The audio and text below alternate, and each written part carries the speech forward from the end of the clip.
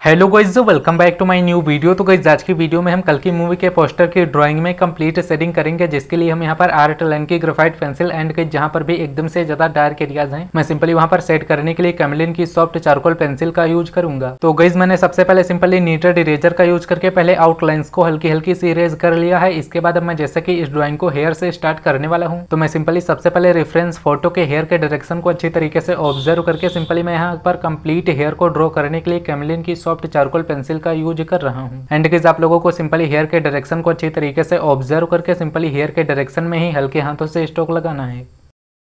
Guys मैंने कैमलिन की soft charcoal pencil से कंप्लीट हेयर में सेट कर दिया है। इसके बाद अब मैं सिंपली इसे मेकअप ब्रश का यूज़ करके कंप्लीट हेयर में हल्के हाथों से ब्लेंड कर दूँगा। कंप्लीट ब्लेंडिंग हो जाने के बाद अब मुझे रेफरेंस फ़ोटो में जहाँ पर भी और ज़्यादा डार्क हेयर दिखेंगे, मैं सिंपली वहाँ पर दोबारा से कैमलिन की सॉफ्ट चारकोल पेंसिल का यूज़ करके सिंपली वैसे ही हेयर के डायरेक्शन में स्टोक लगा दूँगा। एंड किस इसे भी मैं बिल्कुल पहले की तरह ही कंप्लीटली मेकअप ब्रश का यूज़ करके ब्लेंड कर दूँगा। एंड किस इसके बाद रेफरेंस फ़ोटो में जहाँ पर भी हेयर में एकदम से ज़्यादा हाईलाइट एरियाज़ है, मैं सिंपली वहाँ पर टोम्बो मोनो ज़ीरो इरेजर का यूज़ करके हाईलाइट कर रहा हूँ। इसके बाद अब मैं सिंपली कंप्लीट फेस में सेट करने के लिए सबसे पहले रेफरेंस फ़ोटो में जहाँ पर भी मुझे सबसे ज़्यादा डार्क एरियाज़ दिख रहे हैं, मैं सिंपली वहाँ पर सबसे पहले कैमलिन की सॉफ्ट चारकोल पेंसिल का यूज़ करूँगा। जैसे कि guys eye eyebrow nose and beard and moustache में काफ़ी ज़्यादा डार्क एरियाज़ हैं तो मैं सिंपली वहाँ पर सबसे पहले कैमलिन की सॉफ्ट चारकोल पेंसिल का यूज़ करके सेट करूँगा। एंड किस उसके बाद अब मैं कंप्लीट फेस में हाईलाइट एरियाज़ को छोड़कर mechanical pencil with HB grade की लीड से कंप्लीट फेस में सेट कर रहा हूँ।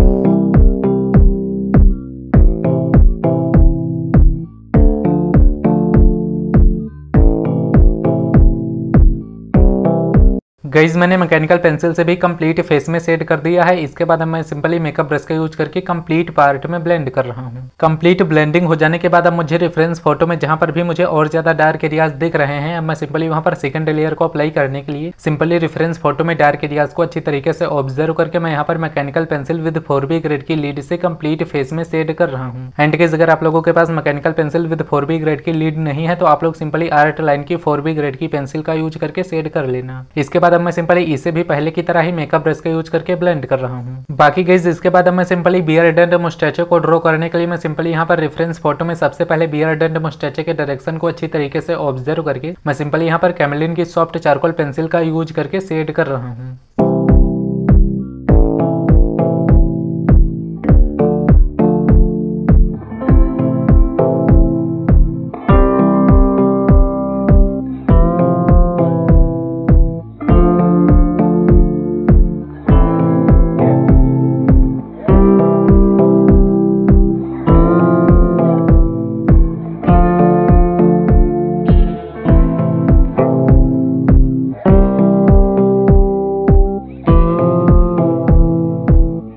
कैमिलिन की सॉफ्ट चारकोल पेंसिल से कंप्लीट सेट कर देने के बाद अब मैं सिंपली मेकअप ब्रश का यूज़ करके ब्लेंड कर रहा हूँ। एंड इसके बाद अब मैं सिंपली रेफरेंस फ़ोटो में हाईलाइट एरियाज़ को अच्छी तरीके से ऑब्ज़र्व करके मैं सिंपली यहाँ पर कंप्लीट फेस में हाईलाइट को ड्रॉ करने के लिए मैं यहाँ पर kneaded eraser and Tombow mono zero eraser का यूज़ करके कंप्लीट फेस में हाईलाइट कर रहा हूँ।